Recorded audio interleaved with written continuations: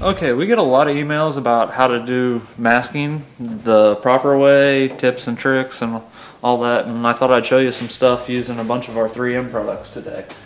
I got the Soft Edge Masking Tape Plus that they just came out with, the original Soft Edge Masking Foam, a box of smooth transition tape, some 3M masking tape, green masking tapes, and a tack cloth and a razor blade. Just some of the basics we're going to need. And our masking machine, can't forget that. First I have to start off with the tack cloth and just come around and tack the jambs just to help get any of the dust and stuff out.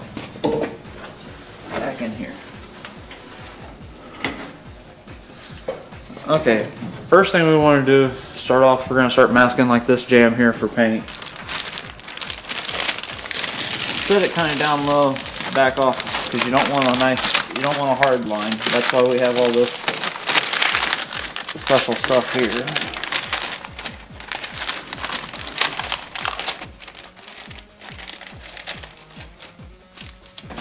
Now this was the, the original 3M masking foam here.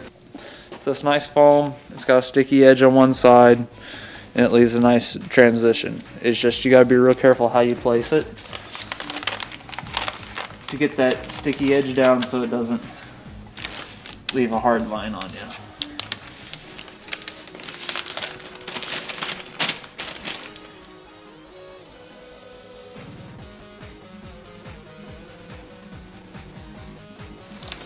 It helps seal up, let any paint go through and leaves you a nice soft edge. Well, 3M improved the product with their new 3M Masking Plus. They've made it wider and flatter and moved their tape down to the edge. So you don't here you can see how you can still kind of get a sticky edge right there. It'll make kind of a hard line on you. Where their new stuff comes in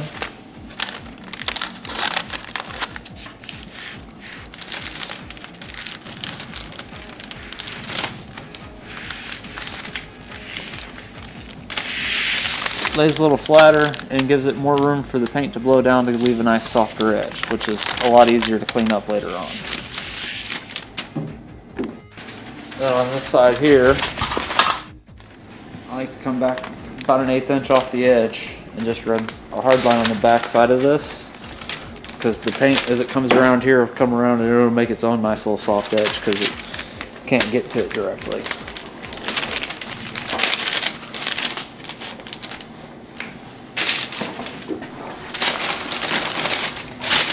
The paper bag.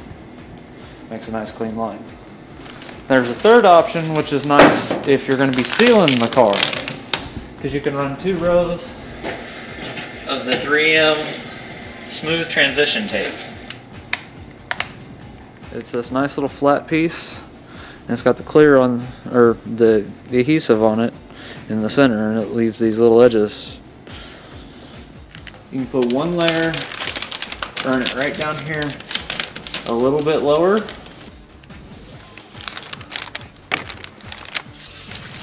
And this one would be for your base coat and your clear coat layer. Then you can run a second layer of this right on top of it.